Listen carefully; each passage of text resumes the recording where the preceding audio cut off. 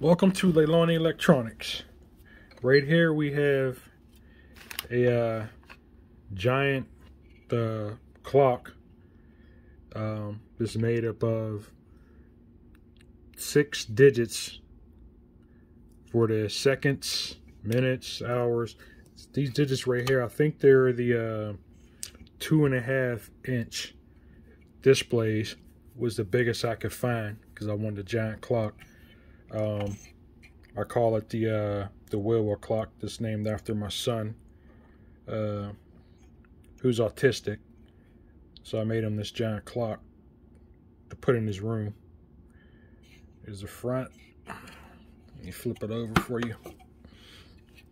Here's the back. I made this clock, uh, designed this uh, nine years ago. Uh, it's been sitting sitting in his room. Um, this is green. I'm sorry, this is green, by the way. These displays are green. And it looks like just an ordinary clock, but what I did was I put a EMIC TTS, which is an EMIC text-to-speech module right here that plugs in here. And at the time, I was able only to get about four of them because they sold out and they're they're uh, they're hard to get. Um, so uh, every every hour, this would read out or speak out the time on this little speaker right here.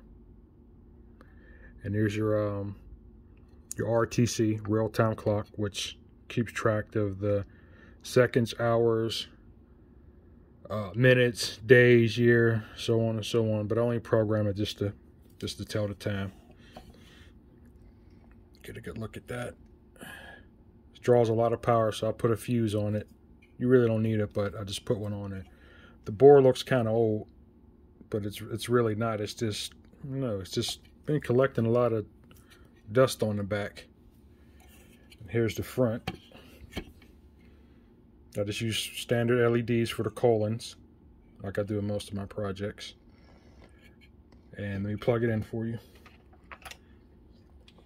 Right here on the side here. Plug it in right here.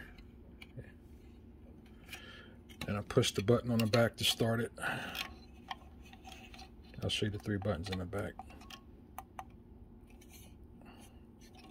Oops, sorry. Turned it off and turn it on. There we go. There you go. Look at that. Look at that.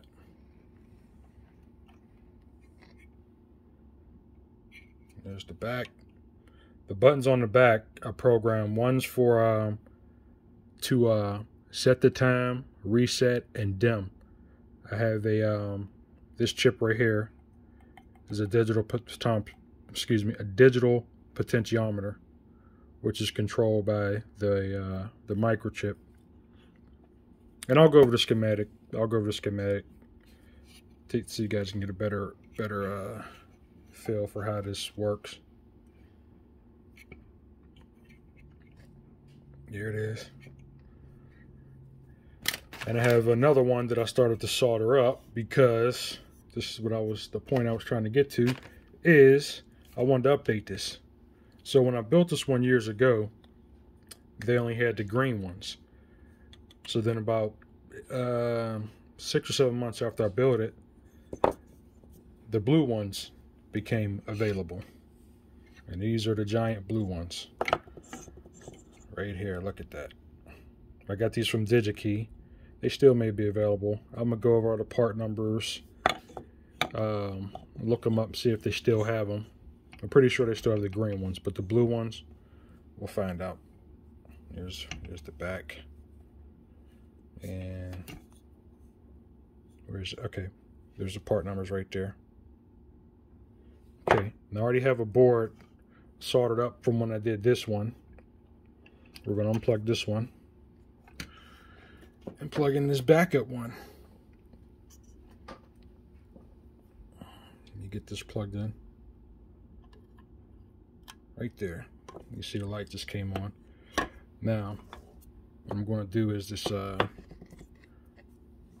I put these sockets so just in case the LED blew out, you can pop it out and replace it. Because once you solder them on the board, you know, good luck trying to get them out. Let's see, we'll just toss this one in there. There it is. A one, because I have a preset to start out at 12 o'clock. You know, let me let me put one here in a second so you can see it actually count. Let's, let's see how we got this here. Okay. There.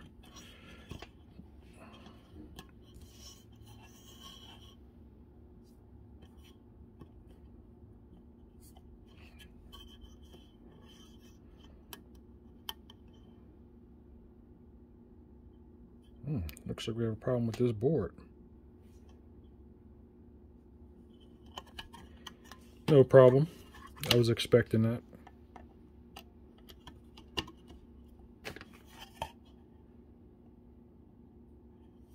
Defective. No problem. We'll just pop those out. Probably got damaged where I have wherever I had it uh, stored. So I had this all soldered up and ready. I could troubleshoot it later. And if all else fails, anytime I do a circuit, I always order three or more boards. So, this out here. I'm gonna show you a fresh, fresh clean board, still in the plastic. But here we go. Express PCB. See, that one looks a lot cleaner, a lot better. In this video, I'm gonna solder this up, show you how I soldered it. There's the back side of it. Nice and clean.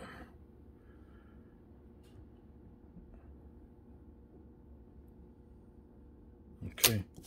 All right, so we're going to go from this to this, but instead of it being green, it's going to be blue. And we're going to go over a schematic, uh, the PCB, the program. We'll go over all that, and I'll show you how I did this from um, from scratch paper to the uh, finished finished board.